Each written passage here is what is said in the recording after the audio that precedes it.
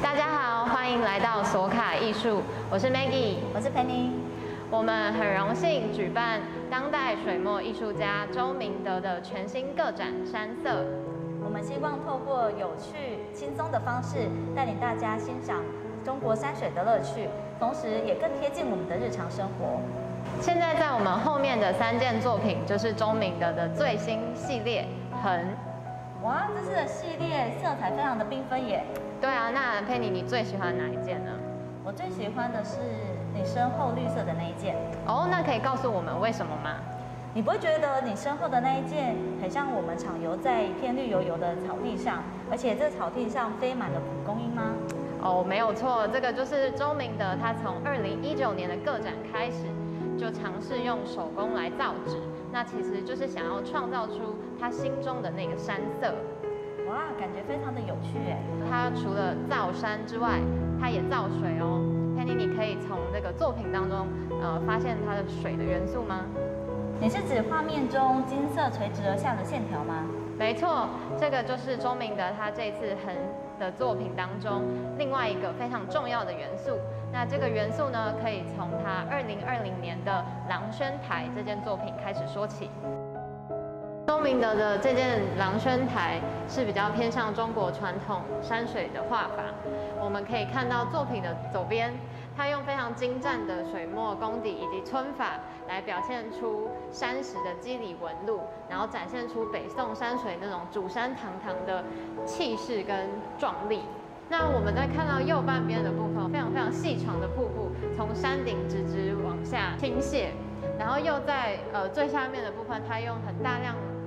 白来展现出呃水汽朦胧的这种氛围。哎，可是 Maggie 呀，我发现周明德他好像有一个小巧思哎，你看哦，画面中间的呃山石，他把它布置在前景上面，好像在邀请我们观者可以站在那个石头上面，那我们就往远处的方向一看，看到倾直而下的瀑布，好像那个瀑布才是主角哎。好，接下来我们看到的这个作品呢？呃，就是钟明德更加聚焦在水景描绘的一件作品。Maggie 老师，我有问题，请说。什么是素练啊？素练呢，就是指白卷白布的意思。所以它就是在指画面上面的瀑布喽。对，没错。素练图的皴法也很特别，尤其这左半边好像是豹纹哦。钟明德在这里呢，确实抛弃了中国传统水墨所惯用的皴法，然后创造出比较新的一种绘画的方式。那也有观众看到的时候，帮他取了一个非常可爱的昵称，叫做“爆点村”。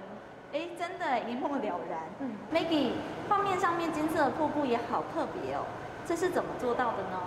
钟明德在这边呢，使用的是滴流的技法。那这就让我们联想到美国抽象表现主义大师 Jackson Pollock 的创作方式。那我们也可以从这里看出来，周明德的作品越往简练的方向去发展。终于来到我们压轴作品《横》。